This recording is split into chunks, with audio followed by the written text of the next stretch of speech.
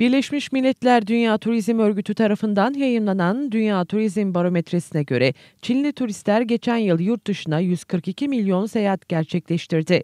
Raporda 2017'de küresel turizm harcamalarının son 8 yılda görülen en büyük artışla birlikte 1.3 trilyona ulaştığı ifade edildi.